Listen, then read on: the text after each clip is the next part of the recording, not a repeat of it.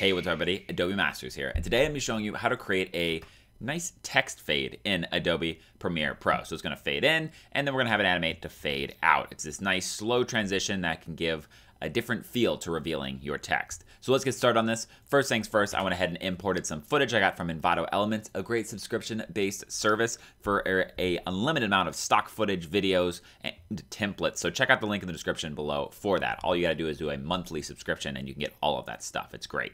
So once I have my footage imported, I'm gonna go down here to the text tool. I'm just gonna type in some text. I'm gonna go ahead and type in paradise again. We are then going to go over here. If we click on it, go to the essential graphics panel and then into the edit on the text. I'm going to click both of these buttons right here to center it.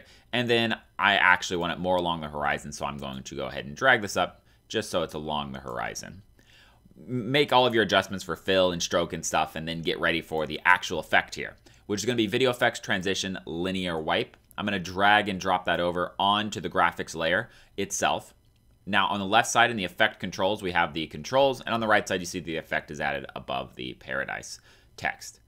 We will then go to the transition completion. You see if we drag that across, it actually makes it go across. We'll go somewhere in the middle and then bring our feather up just so we see what we're doing with this. I say right around 110 or so is good.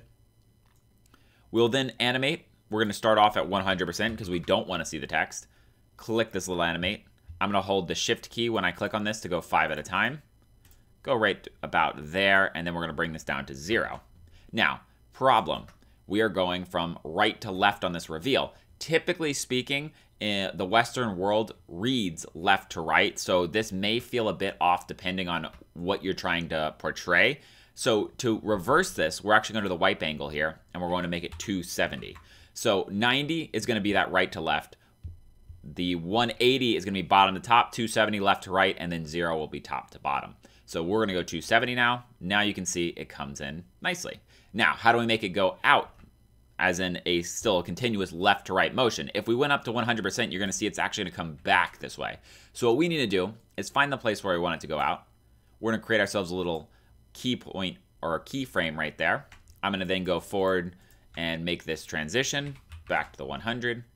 And so now we have the out transition there, but we actually have to make it go the other way. So we're going to go to this point right here where this keyframe is. You can use these to jump between keyframes. So we're going to go right to this keyframe, the third one, I'm to go back one frame. I'm going to set this wipe angle back to 90.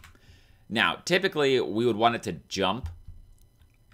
Well, first off, actually, let me go ahead and we got to turn that on first. So I'll go over here, and this one is going to be at uh, 270. So we need to drop a keyframe and then go over here and then make this 90. So we just need to make sure that this over here stays at 270 and this is at 90.